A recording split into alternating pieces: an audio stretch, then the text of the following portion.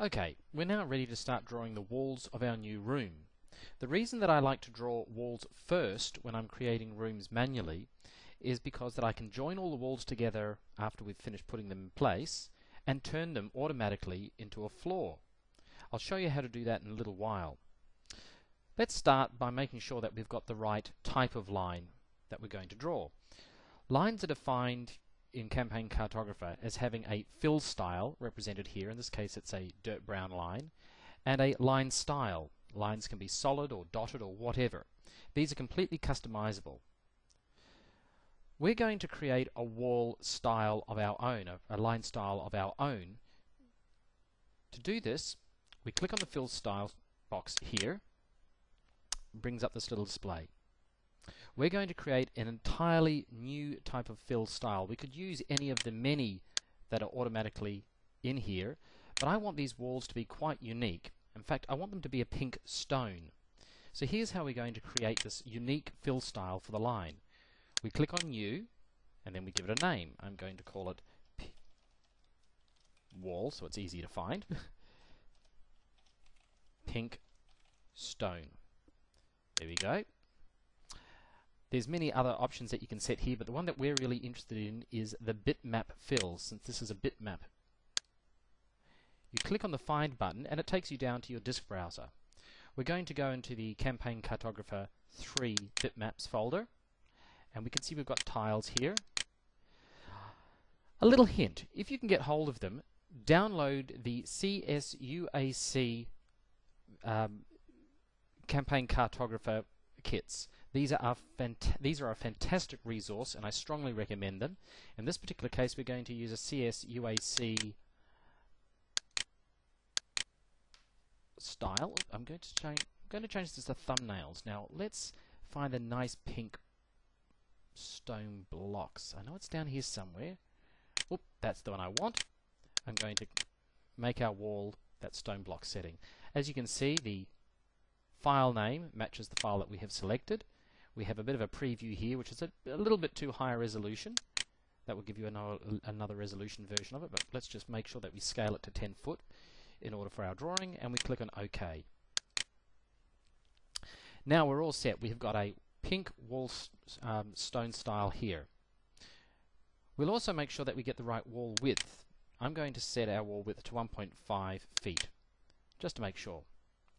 Let's start drawing our initial room by using the path command, the line path command. I'll click on it here.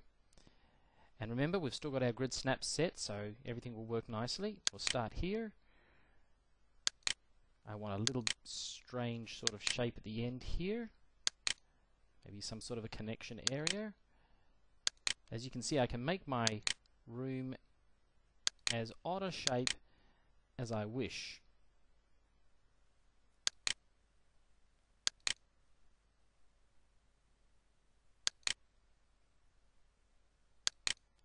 Well, there's one wall, and as you can see, the line style is quite unique. It's using our pink stone blocks. Fantastic. Now, I'm going to put a curved section in here. There's a couple of ways that you can draw curved sections, but the quickest way I find is just to come up here to the Draw tool, click on our arcs, and I like to use the center, start, and end. That means I can position exactly where the center of my curve is, and then I just point on the two ends. I'm not going to be particularly worried about where my center is at the moment, and I'll show you why. A quick clue. Whenever you're drawing curves, they always rotate. The, the curves always start and end anti-clockwise. So I've got my center here. I'm going to come out a certain distance, say 30 feet. I'm going to click and I'm going to draw a semicircle. There you go. It's all set. Now, how do we get this piece of wall to connect to here? Hmm. Well, the quick way to do that is to come over here to the normal command that we've been using for move. Typically, we've just left-clicked on this and it's enabled us to move an object. But I'm going to right-click on it, which brings up a special menu and I'm going to issue the connect command. The connect command is just wonderful for making these irregular shaped rooms. The first thing that you should note when you issue the connect command is that it'll ask you to select the entity. Just select one entity in this case, that's our curve. It's selected, then you right click and you say do it. Now we come down here and we select the first end of this entity, the first point that we want to connect. And you can see it's got a little draw line. We want this end to connect to this part of the room. It's now asking us to draw our second point, so we want this end of the room to connect down to here. What Campaign Cartographer does is automatically figures out how the shape should be rotated and scaled and then moved to make that fit perfectly. Let's just zoom out a little bit and see what our room looks like. Terrific. You see how easy it is to make an unusual shaped room? Okay, we'll just resize. Now, if you remember before, I said that I wanted the room to have a curve on two sides. Currently we've just got a strange curve here. What I'd like to do is add a curved wall, say, here. How do we do that? Well, let's zoom in onto our work area. And as you can see, we've got a wall that's already set up and established. What we need to do is cut a bit of a, a bit of a break in that wall area. There's a couple of quick ways that you can do this. The quickest way is to use this function here, which is called the break tool. When you click the break tool, the system will ask you to select the entity to break. In this case, it's going to be the line. It will then ask you where you want to start the break. I'm going to start it here. And where you want to end the breakpoint. And I'm going to break it here. If we redraw, you can see our line has now been broken, our wall has been broken, ready for us to put in another curve. Let's draw another curve right now. Again, draw.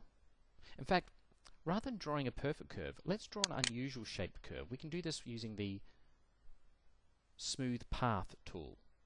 And I'm going to start my path here, draw it here, here, and here. That's a pretty weird looking curve, but hey, we're just having some fun. Again, we can use the Connect tool, select the curve that we want to connect, select the endpoint,